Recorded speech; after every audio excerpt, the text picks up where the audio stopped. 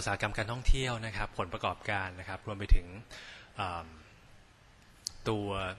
กลยุทธ์ต่างๆ ที่เราเคยประกาศไว้เนี่ยเราได้มีการทำอะไรไปบ้างนะครับ ก็สำหรับในในไตรมาสนี้นะครับหลักๆเนี่ยนะครับถ้าดูตัวอุตสาหกรรมโดยรวมนะครับ ก็จะเห็นว่าตัวเลขนักท่องเที่ยวเนี่ยยังมีการเติบโตนะครับ ก็มีการเติบโตต่อเนื่องจากปีที่แล้วนะครับในไตรมาสนี้ก็ยังสามารถที่จะ ทำไตรมาสนะครับนักท่องเที่ยวรายไตรมาสเนี่ยเป็นเป็นนิวไฮนะครับเทียบกับไตรมาสสามของทุกๆปีนะครับสำหรับตัวบริษัท The a i r o n Group เองนะครับในแง่ของ performance เนี่ยก็นะครับเข้าใกล้ตัว target ที่เราที่เราตั้งเอาไว้นะครับคิดว่าปีนี้เนี่ยน่าจะ growth ได้ต่อจากปีที่แล้วเนี่ยเพิ่มขึ้นประมาณ 18%ในในในในด้านของตัวรายได้นะครับ สำหรับโปรเจกต์ต่างๆนะครับที่เราเคยประกาศไปนะครับโปรเจกต์ที่เรากำลังลงทุนอยู่เนี่ยนะครับก็การก่อสร้างการพัฒนาก็ยังเป็นไปตามตารางที่เราเคยเคยเรียนไว้นะครับ แล้วก็เรื่องสุดท้ายเนี่ยนะครับก็คงเป็นเรื่องของตัว asset monetization นะครับเรามีกลยุทธ์สองสองเรื่องด้วยกันนะครับที่เคยที่เคย ถ้าท่านรุ่นเคยได้ติดตามเนี่ยจะจะทราบว่าเรามีกลยุทธ์ 2 เรื่องด้วยกันนะครับเรื่องแรกคือเรื่องของตัวการสร้างการเติบโตนะครับของตัว portfolio ของโรงแรมนะครับในเรื่องที่ 2 ก็คือเรื่องของตัวการสร้างผลตอบแทนให้กับนักลงทุนนะครับ ซึ่งในนั้นเนี่ยส่วนหนึ่งก็คือเรื่องของตัว asset monetization นะครับก็คือการที่เราเลือกเอา asset ที่เรามีอยู่ใน portfolio เนี่ยนะครับมา สร้างผลกำไรนะครับโดยการดึงผลกำไรในอนาคตเนี่ยกลับมาเป็นผลกำไรในปัจจุบันนะครับ ซึ่งวันนี้เนี่ยนะครับตัว asset monetization นะครับหลังจากที่เราทำเพลินจิตเซ็นเตอร์ไปเมื่อปีที่แล้วเนี่ยตอนนี้เราก็มีการเตรียมการแล้วนะครับที่จะที่จะทำ asset monetization นะครับซึ่งคาดว่านะครับจะเกิดขึ้นในในในปีหน้าปีหน้าเนี่ยนะครับในประมาณไตรมาสที่2นะครับนี่มาดูในรายละเอียดนะครับ นนี้คือตัวเลขนักท่องเที่ยวนะครับ ในไตรมาสที่3นะครับเห็นว่ามีการเติบโตจากปีที่แล้วนะครับ เพิ่มขึ้นจาก 4.9 ล้านคนไปเป็น 5.1 ล้านคนนะครับ เพราะฉะนั้นถ้าเกิดดูในช่วงรอบ 9 เดือนนะครับ ก็จะเห็นว่านักท่องเที่ยวเนี่ยมีการเติบโตเพิ่มขึ้นนะครับ 6%ด้วยกันนะครับ ซึ่งทางทททเนี่ยนะครับวางวางเป้าหมายไว้ที่ประมาณ 20.5 ล้านคนนะครับ ถ้าดูการเติบโตแบบนี้เนี่ยคิดว่าปีนี้เนี่ยน่าจะจบที่ไม่ต่ำกว่า 20.5 ล้านคนนะครับ ในรายละเอียดนะครับเห็นว่ามีการเติบโตที่ที่ดีนะครับในแทบทุกแหล่งที่มานะครับตัวที่เติบโตเยอะๆนะครับ ก็อย่างที่เคยเรียนไปนะครับ ก็คือกลุ่มที่เรียกว่าริกนะครับ ก็คือกลุ่มประเทศรัสเซีย อินเดีย แล้วก็ไชน่าประเทศจีนนะครับ ก็ยังมีการเติบโตที่ดีนะครับ จีนโดยเฉพาะรัสเซียกับจีนเนี่ยเติบโตไปถึงประมาณ 30-60%นะครับอีสเอเชียมีการลดลงเล็กน้อย อันนี้เนี่ยเป็นตัวเลขที่ลดลงจากกลุ่มมาเลเซียนะครับ เนื่องจากว่าตอนที่เรามีปัญหาเรื่องของตัวชายแดนภาคใต้เนี่ย นักท่องเที่ยวมาเลเซียเนี่ยก็มีการเดินทางเข้ามาน้อยลงนะครับ แต่ปกติเนี่ยนักท่องเที่ยวมาเลเซียที่เดินทางเข้ามาเนี่ยเราก็จะนับเป็นนักท่องเที่ยวที่เข้ามา แต่ว่าจริงๆเนี่ยเขาจะไม่ค่อยได้อยู่ค้างคืนอยู่แล้วนะครับ อันนี้ก็จะไม่ได้มีผลต่อธุรกิจท่องเที่ยวโดยรวมเลยนะครับ Middle East นะครับปีนี้ลดลงนะครับสาเหตุหลักๆเนี่ยมาจากสถานการณ์ในบ้านเมืองเขานะครับ แต่ว่านะครับตัวที่น่าสนใจก็คือตัวยุโรปนะครับถึงแม้ว่าจะมี ปัญหานะครับในในในใน EU เนี่ยนะฮะแล้วก็หลายคนกังวลว่าเอ๊ะจะมีจะมีจำนวนนักท่องเที่ยวลดลงไปหรือเปล่านะครับก็ก็อย่างที่เคยเรียนไปนะครับว่าจริงทางบริษัทมองว่าไม่ได้มีผลกระทบอะไรรุนแรงนะครับ แล้วก็จริง ๆ แล้วเนี่ยปีนี้ก็ยังมีเติบการเติบโตเพิ่มขึ้นจากปีที่แล้วด้วยซ้ำนะครับ ถ้าดูใน3 quarter ที่3เนี่ยก็เติบโตไปประมาณ 17%นะครับซึ่งถ้าเราถอดรัสเซียทิ้งเนี่ยก็เติบโตประมาณ 10%นะครับ สำหรับตัวผลประกอบการของ DR1 Group นะครับต้องเรียนว่าในใน quarter ที่สามเนี่ยนะครับเป็นเป็นผลประกอบการที่อาจจะไม่ไม่หวือหวามากนะครับถ้าเทียบกับ 2 ไตรมาสแรกนะครับสาเหตุหลักๆเนี่ยนะครับเพราะว่าเรามีการปิด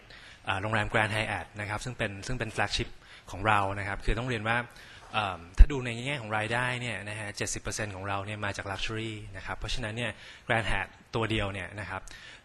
ก็ประมาณ 20%ของรายได้ของเราทั้งหมดนะครับ เราปิดห้องของ Grand Hat ไปครึ่งหนึ่งนะครับ เพื่อทำการ renovate นะครับ quarter นี้ถือเป็นเป็น quarter ที่เราปิดห้องเยอะที่สุดนะครับ ก็คือประมาณ 45%นะครับของ Grand Hyatt นะฮะก็คิดเป็นคิดเป็น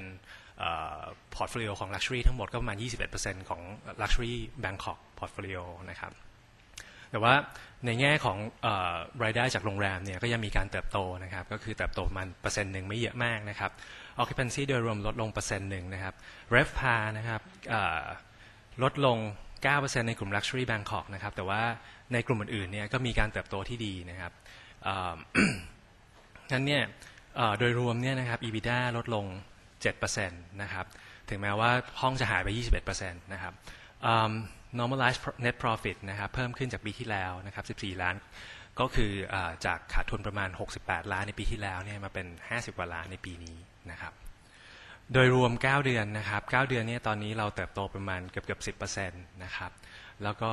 ในแง่ของ EBITDA เพิ่มขึ้น 12%นะครับ normalized net profit เพิ่มขึ้น 121 ล้านเทียบจาก 9 เดือนปีที่แล้วนะครับ อันนี้เป็นภาพของตัว Hotel Operating Income นะครับ จะเห็นว่าปีนี้เติบโตไม่ใน quarter นี้เติบโตไม่เยอะนะครับ888 ล้านเป็น 893 ล้านนะครับ ทั้งนี้ทั้งนั้นเนี่ยหลักๆ เนื่องมาจากการปิดโรงแรมแกรนด์ไฮแอทนะครับที่เราลองทำให้ดูเนี่ยนะครับคือในส่วนข้างล่าง ในส่วนด้านล่างเนี่ยนะครับคือถอดถ้าเกิดเราถอดโรงแรมแกรนด์ไฮแอททิ้งออกไปทั้ง 2 ปีเกิดอะไรขึ้นนะครับ ก็จะเห็นว่าจริงๆแล้วเนี่ย ถ้าไม่ได้ดูโรงแรมแกรนด์ไฮแอทเนี่ยนะฮะรายได้ของเราเติบโตค่อนข้างดีนะครับคือ 518 ล้านเป็น 621 ล้านนะครับนะฮะในแง่ของเอ่อ9เดือนนะครับเติบโตประมาณเกือบเกือบ10%นะครับ